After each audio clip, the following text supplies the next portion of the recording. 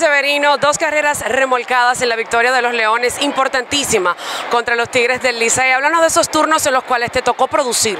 Tú sabes, fue unos turnos muy buenos en el juego, eh, la cual yo quería ayudar a mi compañero y a mi equipo a eh, remolcar esa carrera para así alejando un poquito del Licey. Eh, vi muy buenos picheos, me tiraron buenos picheos, lo cogí y eso tuvo la razón de la cual yo usé tuve un buen ajuste con la reta que él me tiró. Estuviste hoy de receptor y sacaste un hombre en tercero cuando el Licey se fue al doble robo. ¿Cómo, háblanos de tu trabajo con el picheo el día de hoy. Tú sabes, es la, eh, en unos playoffs eso, eso es lo primordial, el picheo y la defensa. Ya lo que es el bateo, eso es algo que eh, eh, es, un bono. Pero el picheo tuvo muy buena ejecución, tirando el primer picheo detrás.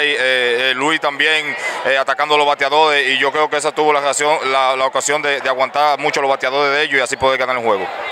Buena asistencia esta noche. Era un partido importante no solo para los Leones, para los Tigres también. Se acerca el escogido a un juego teniendo otro enfrentamiento contra los Tigres el martes. ¿Cómo se preparan con esta situación? Tú sabes, no trata de ser, no de hacer mucho, no trata de ser superhéroe. Lo que hay que seguir jugando la pelota eh, eh, en orden y, jugando buena defensa, cogiendo buenos turnos, eh, ejecutando cada picheo. y yo creo que vamos a tener el mismo resultado que tuvimos hoy. Muchísimas gracias. Gracias a ustedes.